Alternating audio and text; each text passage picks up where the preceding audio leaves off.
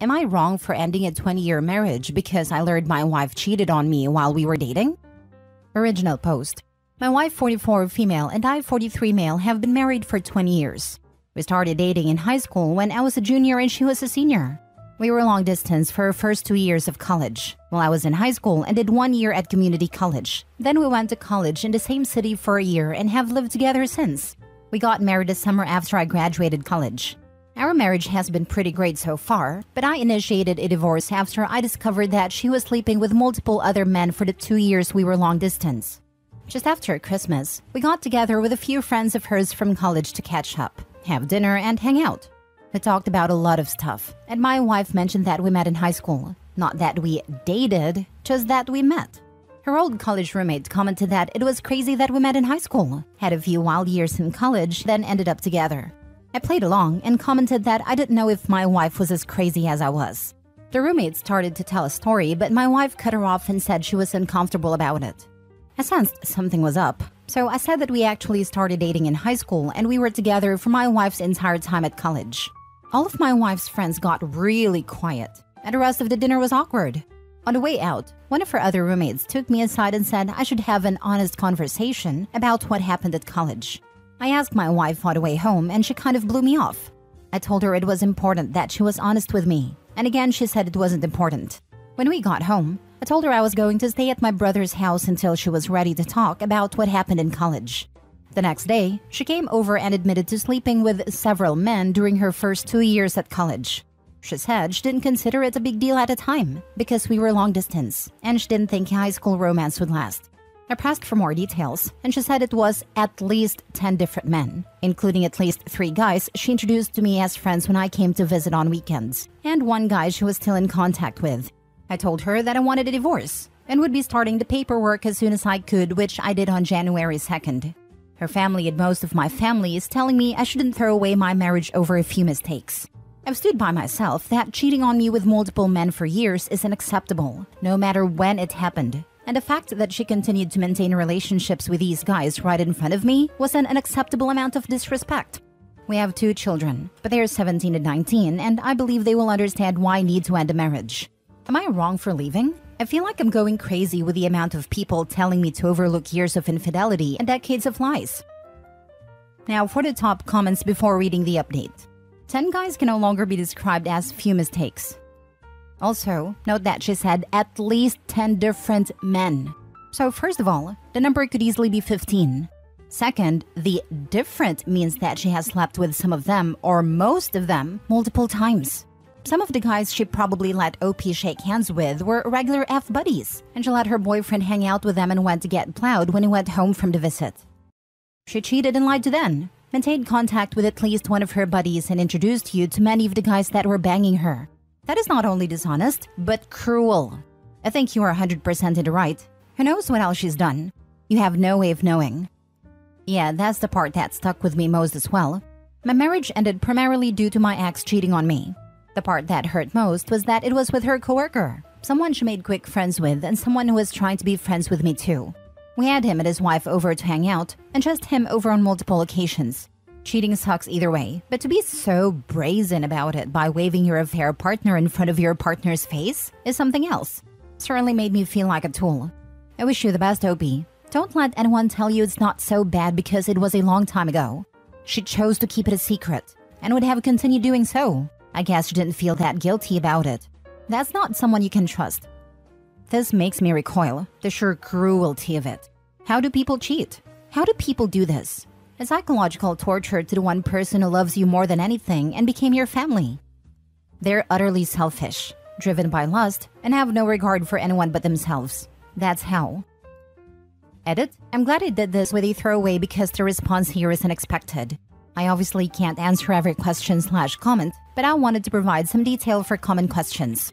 The reason I posted this is that my wife and a few friends have been saying it's common to sleep with other folks when you're in a long distance relationship, and that I'm kind of the odd one for not sleeping around. I felt like I was being gaslit, but I wanted an outside perspective. We live in a state with a waiting period to finalize a divorce, so I felt it was a reasonable idea to get some insight before things are finalized. After these comments, as a handful of folks saying it's normal to sleep around during a long distance relationship, but it seems to be a significant minority. We saw each other a couple of weekends a month during the two year college period. I lived about three hours away from her college, so it was long distance but not like cross country. This was not a situation where we went months without seeing each other. The three guys I met while she was in college were meetups that happened during parties. The subject of me being a boyfriend didn't really come up, so I honestly don't know if these guys knew anything. The one guy we're still in contact with married a mutual friend from college. This is not some guy she secretly messages on the side, it's somebody we've talked to regularly for years. I've talked to him a few times since I've learned about my wife. He said he didn't know we were dating at a time and has since blocked my wife on social media. Some folks have asked how the roommates didn't realize at our wedding that the timelines didn't work out. The main reason is that my wife and I had a very small ceremony with just close family in Texas, then went back to the East Coast to have a big party with friends. The typical reception slash sharing details about how we met stuff didn't really happen, so her roommates didn't realize we started dating before college. It sounds like they thought we only dated for the year we were both in the same city, then moved in together. I was open to therapy or some kind of attempt to save the marriage. But her insistence that this whole thing is common and I'm the one who's out of line is just too much for me. The only time she showed any remorse or even offered to reconcile is when I started filing paperwork. In the last week, she's gone back to saying she's right and I'm overreacting. This is also why I feel like I'm being gaslit. It seems obvious that this is a major issue, but I've got my wife and others telling me it's normal and I'm overreacting. I'm not getting a paternity test unless my kids want to get one. I don't have any doubts that they are biologically mine, and no test will make them not my kids. I love them more than anything in the world, and my wife's infidelity won't change that, even if one or both of them is not biologically mine. They've been my kids for 19 years, and they will be my kids until I stop breathing. Final edit. Hey all, I've been reading a bunch of the responses, but things are getting crazy and increasingly unhinged, so I probably won't be checking in more. Here are a few more answers to common questions I've seen. We were definitely exclusively dating at the time. First, dating culture was a lot different 20 ish years ago, and exclusive was kind of the default for most people. Second, we had a long and difficult discussion before she left for college about continuing the relationship long distance. She specifically wanted to stay together and even joked about her dad coming after me if I started sleeping around with girls at my school. Finally, at my senior prom, she was not able to attend and was very upset when I proposed going with a platonic female friend of mine. As a result, I ended up skipping my prom and hanging out with her instead. While we never said a word exclusive, I think the above reasons, combined with a general relationship before she left, are enough to assume exclusivity. Based on some comments here, I followed up with a friend that said I should have an honest conversation. She told me that 10 guys would be on the low end, and that her biggest concern was that there was apparently at least one pregnancy scare that I didn't know about. I honestly don't think that really changes much. It's less about the number for me, and more about the fact that she seems incapable of recognizing why this was wrong or why I feel betrayed. Thank you all for the helpful responses, even those that disagree with me. I will still be open to therapy if she's willing, but I honestly feel like it would be more about us being successful parents and finding closure than saving our marriage. Now, 40 updates a month later. My wife and I are seeing a couples counselor and have been to three sessions now. Based on what my original post outlined and what we've talked about in counseling, I'm still moving forward with the divorce. I believe that counseling was the right move, and I appreciate folks for recommending it. I don't think it's going to save our marriage, but it has helped me communicate my feelings, helps my wife understand where I'm coming from, and most importantly, helped us to be in a position to work together as co parents. First, let's talk about the things I learned about the situation in college. After talking to my wife in sessions and texting with two of her roommates, it's clear that her roommates knew something was up in college. They said they thought the situation was weird and likely involved cheating. My wife had told them that we both had some wild times in college and worked it out before we got married, so they never really brought it up. The roommate who pulled me aside recently was uncomfortable with the fact that my wife clearly didn't talk it through with me and wanted me to know. As far as being introduced to the guys she slept with, apparently that was not intended. For one of the guys, he ended up dating and then marrying one of our mutual friends from college. This is the guy she was in contact with. In the other situations, she initially blamed me in the counseling session, but has now agreed it was bad. When I went to visit her, she planned to hang out in the room or just hang out together alone, but I wanted to go to a few parties. Because in high school and community college, I didn't really have parties to go. She didn't expect me to meet the guys, but they were at the parties and she felt she didn't really have a choice. I still think this is kind of crappy, but it's not as bad as her intentionally parading me in front of the guys. Most of our discussion in therapy has been talking about why I think it's a big deal and she doesn't. She initially said that none of these guys were in relationships with her, and it was mostly one night stands or friends with benefits. Since she didn't view them as romantic relationships, she didn't see the big deal. Her words, not mine. My opinion is that we never said that was okay, and she actively prevented me from doing the same. After digging into this across two sessions, and my wife talking to some friends, she now agrees that it was a breach of our trust slash relationship. This is the shared understanding that has helped us talk about this situation more honestly and helped us get from arguing to talking, which is why I'm optimistic about co-parenting. Now here's why I'm 100% set on divorce. Two things came up that make me want to leave the marriage. First, about 10 years ago, we went through a really rough patch and had a dead bedroom for about two years. She had expressed that our intimate life was becoming boring, so I tried to spice things up. Apparently, she had been hung up some sexual experiences that happened in college that she is not comfortable talking about and wanted me to try them. But when I did, it made her feel awkward and guilty that it made her think of other men while she was with me. The fact that she's saying these experiences were meaningless, but they're still impacting our marriage, tells me they meant more than she wants to say. Second, she admitted that she has been flirting with coworkers on business trips since the pandemic ended. She says she has never slept with anybody, but it got as far as going on a date with one of her male coworkers. That was the absolute deal breaker for me. We have told our children that we're getting a divorce. We told them it was due to some bad decisions that we made in college that we're having trouble moving past. My 19 year old, who is in college, asked me if I cheated on my wife while she was away at college. My wife got a little shaken up, but admitted to the kids that she's the one who cheated. We have agreed to not share any additional details with the kids. I reinforced that both of us will be there for the kids and that we are in therapy to help make sure we handle this in the best way for the family. I also told the kids that if they wanted to talk to either of us or a therapist about it, that I would fully support it. We've started talking to a mediator about how to proceed with a divorce and unless things change, we should be able to have an amicable divorce. We're both financially stable in our own. We have no major debts and our kids are older, so custody isn't a major issue. This has been a crappy couple of months for me, but I'm doing okay now. And I honestly am grateful that my last post blew up because it both validated some of my feelings but also motivated me to go to counseling with my wife. Edit. A couple of things to add in response to comments. I know she probably cheated more than she has admitted, once our dead bedroom situation from years ago and a date with a coworker came up, I accepted that this has probably been going on at some level for our whole marriage. I'm not glossing over that because I'm an idiot who believes she's telling the whole truth. I have enough truth to know this is the right decision and that it was more than just college. Adding more detail won't change anything. In this post, the last post, and in a lot of messages, people keep asking if a hall pass would help fix things. It won't. I don't believe that more cheating will solve the trust issues. That may have worked for other people, but I really don't think that's going to help us. My soon to be ex and our counselor know about the Reddit posts. I was upfront with both of them about it.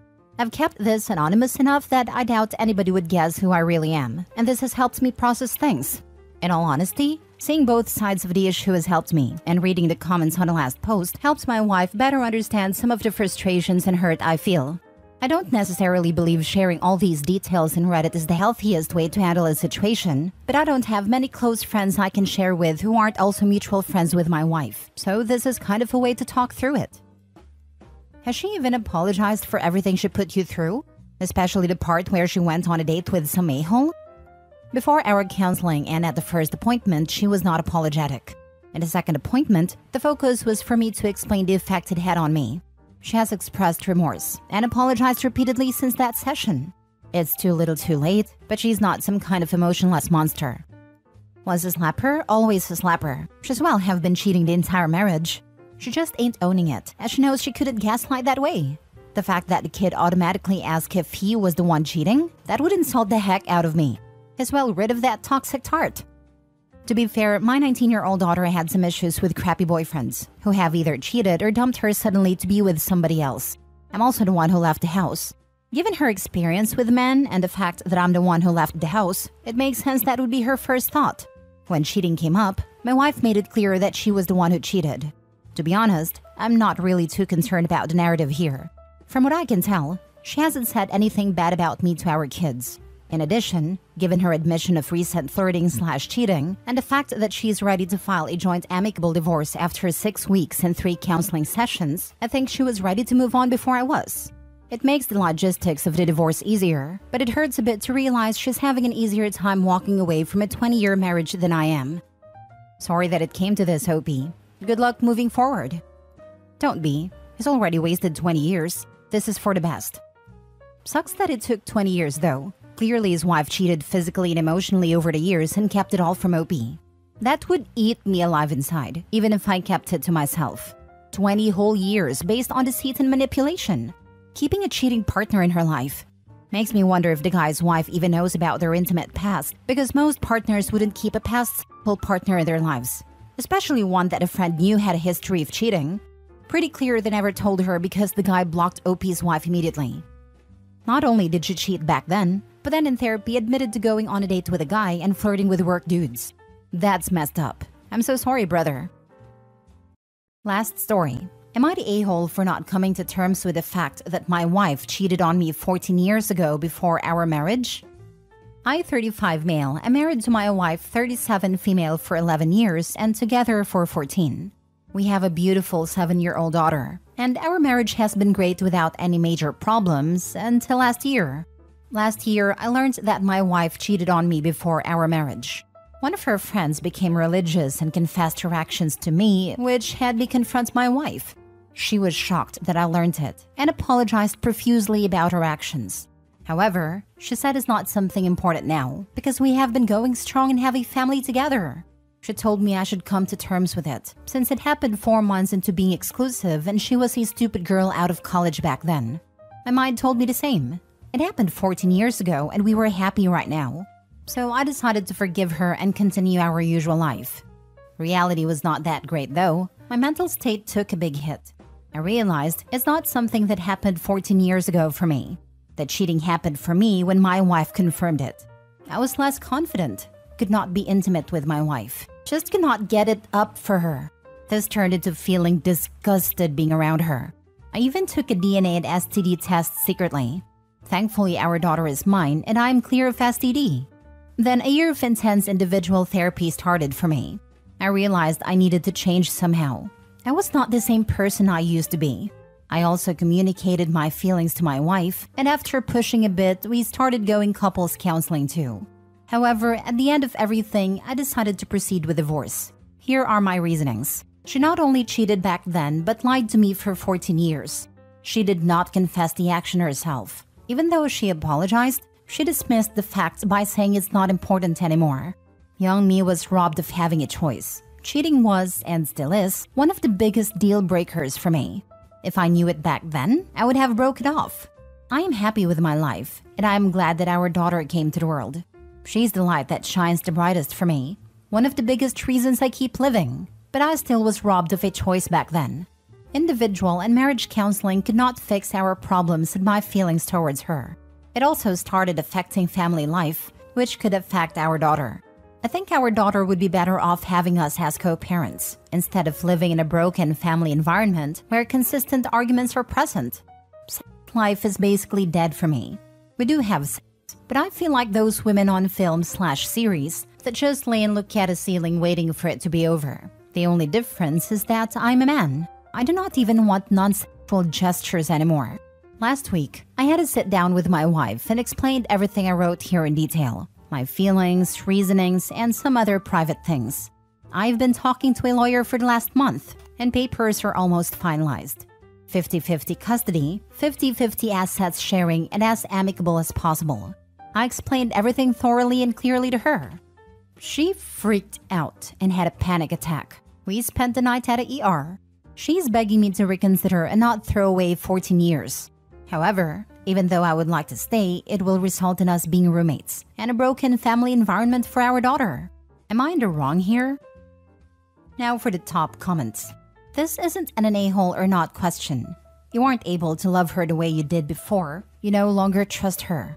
Your relationship is dysfunctional. Therapy didn't help. Calling you or her an a hole will solve absolutely nothing. All you can do now is to make the separation as smooth as possible for your daughter. Someone else wrote this in a thread months ago, and I still remember it. The affair happened 14 years ago for you. It just happened for me. Like she's had 14 years to process and lie about it, and then to just let it go. For Opie, this just happened. He's still dealing with all of it. And not just the affair, but the 14 years of flying by omission too. It's brand new to him. Also, Opie, not the a-hole. Also, the wife is an a-hole. Not the a-hole, and I'll tell you why. Even though she apologized, she dismissed the fact by saying it's not important anymore. The only thing that infuriates me more than cheating is someone being dismissive of their cheating because it happened so long ago. It's not old news for you. For you, it just happened because you just found out. Now, even if your wife had been truly apologetic and contrite, I would say you weren't the a hole for not being able to let this go. But the fact that she tried to sweep it under the rug and pretend like it doesn't matter? Huge red flag. Plus, you clearly can't look at her the same way. Get out.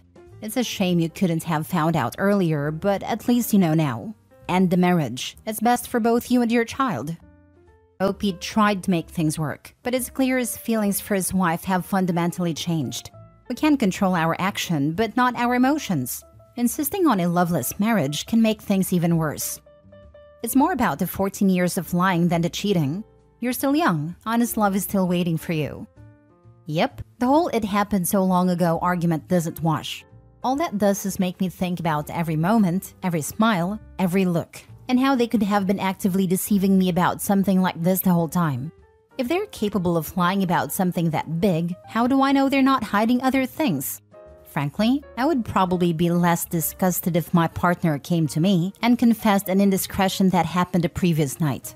I couldn't forgive it either way, but at least they weren't so shameless as to lie about it for over a decade. Don't blame OP in the least.